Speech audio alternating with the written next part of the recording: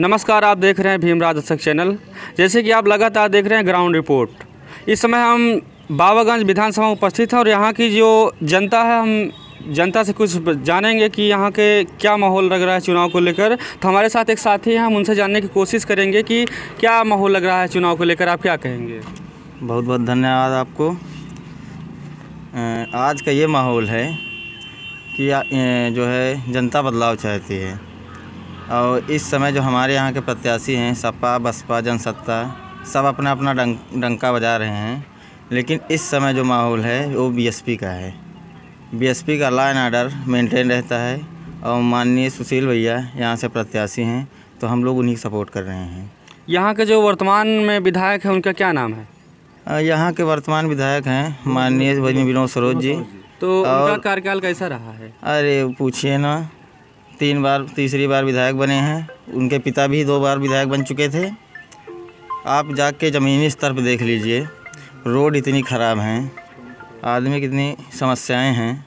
अब कोई बोलता नहीं है, उनकी दहशत है, माननीय राजा भैया की। इसलिए कोई कहना कुछ नहीं चाहता है बाकी जनता बदलाव चाहती है अंदर से।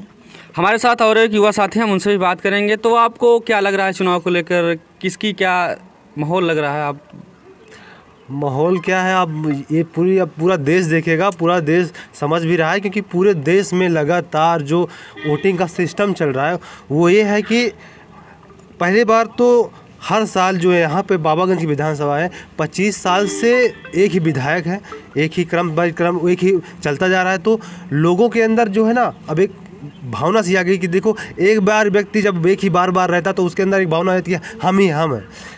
और हर बार तो बाबा जो विनोद विधायक जी हैं, वो सपा से लड़ते थे, माननीय राजा भैया के सहयोग में थे। और अभी क्या है, जनसत्ता बदल बन गई है और सपा अलग हो गई है और यहाँ से बीएसपी भी लड़ रही है। तो अभी सबसे अच्छा इसको जिस, जिसका चल रहा है यहाँ पे, सबसे अच्छा इसको सबसे ज़्यादा लोग जो ज़मीनी स्तर से लोग लाइक कर रहे हैं, वो बीएसपी को लोग लाइक कर रहे हैं और बीएसपी में माननीय सुशील भैया जी खड़े हुए हैं और पूरी जनता को उनको प्यार और सम्मान मिल रहा है। महँगाई को लेकर आप क्या कहेंगे? महँगाई अरे महँगाई की बात ही मत करो भाई भाईजान महँगाई तो आप एक बात देख लीजिए कि आप ये सोचिए पहले उजला योजना चला ठीक है उजला योजना में लोगों को फ्री दे दिया गया गैस सिलेंडर। अब उसके साथ सब्सिडी भी दी जा रही है। पर सब्सिडी के नाम पर कहाँ दी जा रही भाई साहब, अब देखो, एक हज़ार रुपये में सीधा सीधा एक हज़ार में पहुँचा दिया। अभी अभी कह रहे हैं गल्ला दिया जा रहा है, पाँच किलो गल्ला, दो किलो गल्ला दिया जा रहा है। दो किलो गल्ला दिया जा रहा है, भाई साहब, पाँच किलो गल्ला में किसी का महीने भर चलेगा? आप बताइए, चलेगा? नहीं चलेगा ना? पाँच किलो गल्ला दे करके दो कुंटल चरा लिया जा रहा है खेत में, उसका कोई मतलब कोई भी वो ब्यौरा नहीं है। इसके बारे में आप क्या कहना चाहेंगे? आप बताइए, कि इसका, इसकी ज़िम्मेदारी कौन लेगा? इसकी ज़िम्मेदारी क्या सरकार लेगी? नहीं लेगी ना? तो ये जो है ना ये बद इसी सब वजह से देश में जो बदलाव है ना ये यही चीज़ है जो देश को बदलाव गया और बदलेगा देश सरकार। यो- योगी सरकार से आप कितना खुश हैं? योगी सरकार ने भाई साहब योगी सरकार ने पूरे देश का बेड़ा गर्द कर रखा है। आप भी एक युवा हैं ये भाई भी एक युवा है। आपने पढ़ाई की है भाई साहब? हाँ, हाँ, हाँ, बिल्कुल भैया। भाई ने पढ़ाई किया है। अब यहाँ पे भाई जी साहब मामे हमारे भाई साहब ये खड़े हैं ये रोज़गार नहीं है। रोज़गार नहीं है। भाई मुद्दा नहीं अब ये बताइए क्या मंदिर और मस्जिद जो है, ये रोज़गार देंगे? नहीं देंगे ना। युवा इससे संतुष्ट होगा? नहीं होगा। भाई, लोगों को क्या कहें, युवाओं को रोज़गार चाहिए। अभी वैकेंसी निकली, उसको भी पेंडिंग में डाल दिया। न जाने कितनी वैकेंसियाँ अब ये जान लीजिए, अगर छः हज़ार वैकेंसी निकलती है तो उसमें छः करोड़ पड़ते हैं, क्या कहते हैं? नाम मार दर्ज होते हैं, मार करते हैं। अब छः करोड़ रुपए के हिसाब से देख ले, न जाने कितना पैसा गवर्नमेंट ऐंठ रही है। तो इस बात से अब ये बात जान लीजिए जान ले बीजेपी सरकार अब की बार जाएगी और महँगाई को लेकर आप क्या कहेंगे? अब महँगाई क्या करें भाई साहब? साठ सत्तर रुपये तेल था आज दो सौ दस रुपये हो गया है। गरीब किसान मर रहा है। हाँ अब क्या मोदी जी कहें? सब्सिडी आ रही थी तीन महीना दिए उसके बाद बंद हो गया। अब, ये जनता को लालीपाप दिए हैं पाँच किलो वाला। अब, ये लालीपॉप में पूरी जनता आएगी नहीं, ये बात बता देना चाहते हैं। क्योंकि लालीपॉप, देखो, लालीपॉप में तभी आपकी आपकी जनता जो है ना, जागरूक हो चुकी है। जितने युवा हैं, वो पढ़े लिखे हैं, अब युवाओं का चलता। है सबसे ज़्यादा पूरे भारत में, सबसे ज़्यादा युवा रहते हैं तो उत्तर प्रदेश में रहते हैं। अब जान लीजिए, अब की बार गुंडागर्दी नहीं चलेगी। अब की बार ये बात हर पार्टी जान ले। क्योंकि गुंडागर्दी तानाशाही बहुत हो। जाए कहते हैं कि लॉ एंड ऑर्डर इसमें, इसका में बहुत अच्छा है। भाई, अभी हाथरस का कांड आपने सुना होगा। एक लड़की को जाना, को उसका बलात्कार, रेप होता है, उसको ज़िंदा जला दिया जाता है, उसके परिवार वालों को मतलब साव देखने भी नहीं दिया जाता है। और अभी हाल ही में एक लड़के, बीजेपी कोई नेता था, उसने भी उनके साथ कांड करके उसको दफना दिया था बगल में। अब लॉ एंड ऑर्डर यहाँ पे कैसा है? ये पूरे देश की जनता देख रही है। और साथ में जो युवा है, युवा एक बात जान लें, माननीय मोदी जी, योगी जी जान लें, जो युवा है ना, वो तख्ता बनाना भी जानती है और तख्ता पलट भी करना जानती है। ये बात जान लें। और अब की बार जो है ना, उनको ऐसी जगह भेजेंगे ना कि वो सोच भी नहीं सकते। और पूरी बहुमत से जानते हो कि बहुजन समाज पार्टी जो है, वो बहु, पूरी बहुमत से आएगी। जिस तरह सन दो हज़ार सात में बनाई थी, अब की बार पूरी, पूरे पूरे सीट से बहुजन समाज पार्टी आएगी। तो आप किसको वोट करेंगे? हम तो बीएसपी को वोट करेंगे।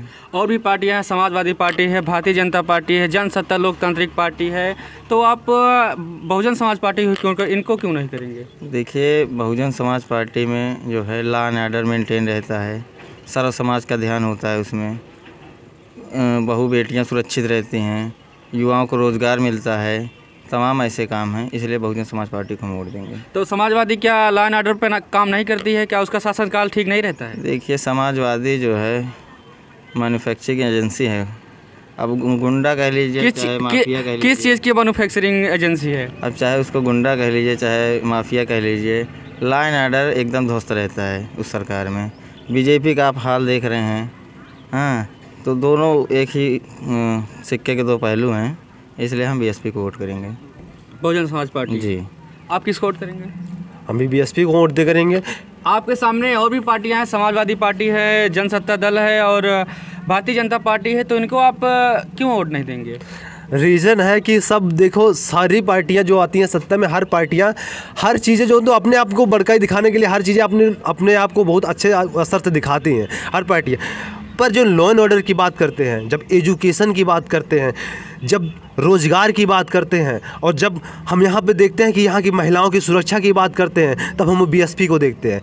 बीएसपी सरकार में, सन 2007 में, जो लॉ एंड ऑर्डर था, जो बहन बेटियों के लिए सम्मान निधि मिलती थी, वो हर चीज़ निरस्त कर दिया जा रहा है, ठीक है? तो इस बार इस बार अब लॉलीपॉप नहीं चूसेंगे। अभी आपने देखा होगा, वो ई श्रम कार्ड बनवाया गया और क्या कहते हैं लैपटॉप और क्या कहते हैं टैबलेट बांटने का जो लॉलीपॉप चुसाया जा रहा था आप देख रहे हैं फॉर्म- भरा जा रहा था। हाँ फॉर्म भरा जा रहा था। इसके चक्कर में भाई साहब पता नहीं कितने युवा जो है एडमिशन करा लिए। दो हज़ार पाँच दो हज़ार पाँच हज़ार रुपये आप ये देखिए कि शिक्षा का स्तर कहाँ चला जा रहा है। भाई आप एक बात देख लिए उनके मानव जो सोच देखिए कि अब गरीब और गरीब होता जा रहा है। डिजिटलाइट कर दिया गया है। डिजिटलाइट में आप बताइए, क्या हम जो चार दो हज़ार रुपये पाँच सौ रुपये डेली का, दो तीन चार सौ रुपये महीना कमाते हैं दो सौ रुपये डेली कमाते हैं, हम लोग गरीब आदमी का काम होता है डेली कमाना, डेली खाना, इनका काम होता है। क्या वो अपने बच्चों को अच्छी शिक्षा दे पाएँगे?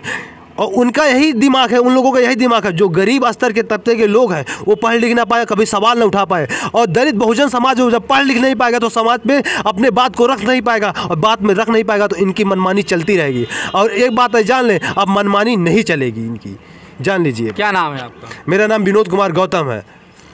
आपका क्या नाम है? जी हमारा नाम आशुतोष भास्कर है।